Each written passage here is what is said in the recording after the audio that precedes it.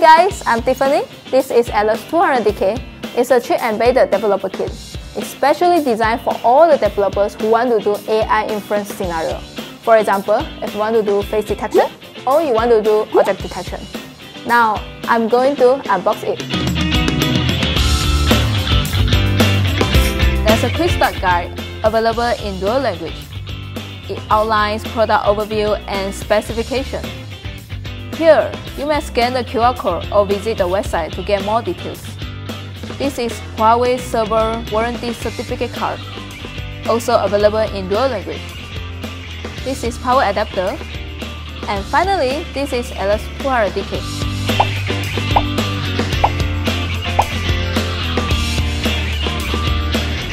You can see there's a Huawei logo here, and it's written Atlas 200 Developer Kit.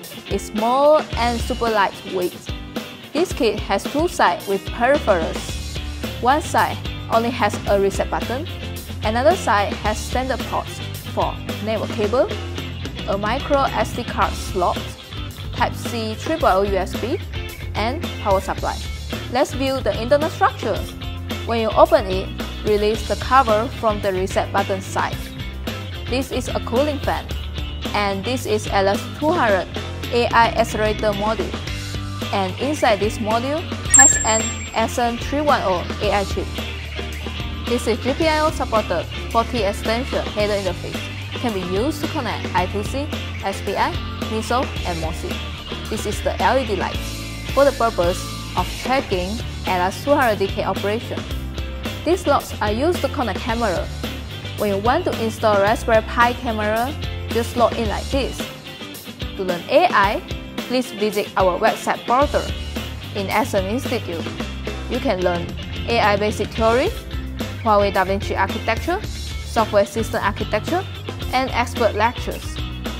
Documentation provides step-by-step -step installation instructions. These community projects consist of open source projects such as face detection and face recognition, allowing developers to experience AI inference. If you face any difficulties, you can post your question in Ascend forum to get support.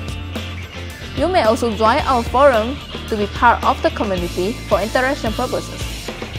This Atlas 200 DK supports many popular deep learning frameworks such as Caffe, such as TensorFlow, as well as Huawei in-house deep learning framework, MindSpore. If you want to get more information, please click the link below. Thank you for watching. Bye!